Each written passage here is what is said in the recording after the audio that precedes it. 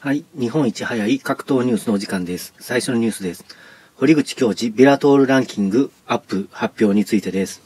日本の最高傑作こと堀口教授選手がベラトールのランキングで3ランクアップしました。今まで8位だったのですが、なんと3ランク上がり5位になりました。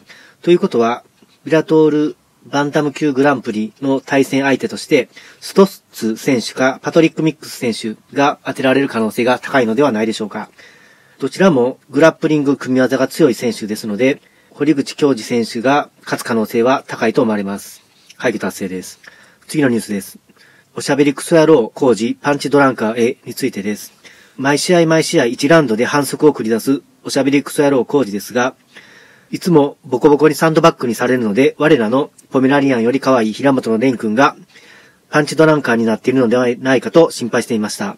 そしてやはりその嫌な予感が当たりました。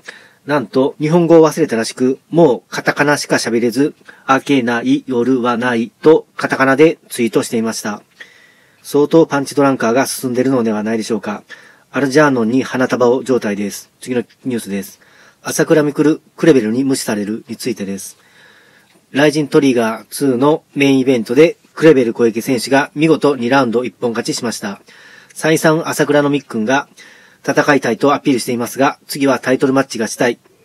朝倉のみっくんは怖くない、レベル同じじゃない、タコさん体型だ、地方のマイルドヤンキーのダサさがある、なんかナルシストが気持ち悪い、生理的に受け付けないなど、戦う気はないことを発表しました。また再戦しても、クレベル選手が勝つので、再戦する意味はないでしょう。次のニュースです。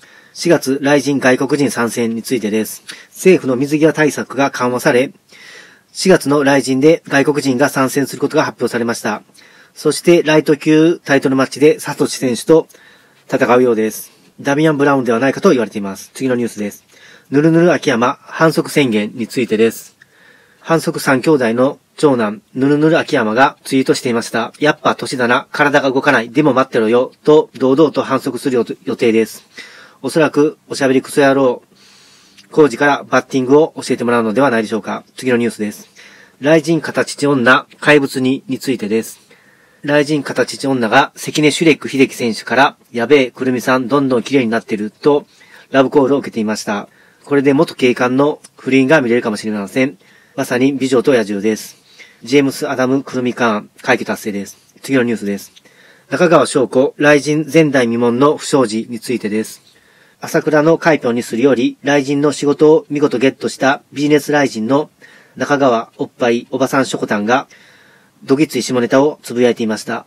雷神トリガーを見ながら抜いたと、神聖な格闘家を置かずに抜いたことを堂々とツイートしていたのです。ショコタン、会議達成です。以上となります。ご視聴ありがとうございました。よろしければ、コンビニダイエット飯もご覧ください。それでは、さよなら、さよなら、さよなら。